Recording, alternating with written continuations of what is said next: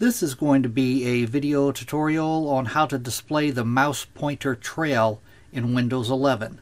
The mouse pointer trail is this right here. You can see the trail that's left behind my mouse cursor. Let me jump over to my desktop here. Okay, to display the mouse pointer trail in Windows 11, first thing you want to do is go down to the little magnifying glass in your taskbar. You want to click on that then in the search box up here, you want to type in mouse settings.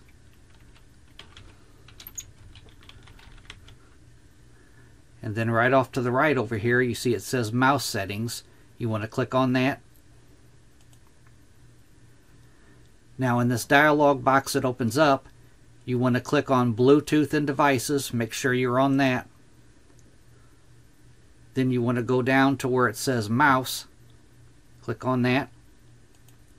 Then you want to click on Additional Mouse Settings.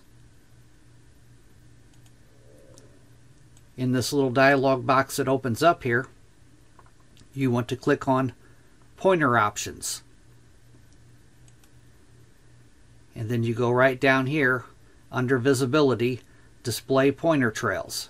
You want to check that box and then it will allow you to uh, you can move this slider here by default. It's all the way off to the right. That makes a longer trail.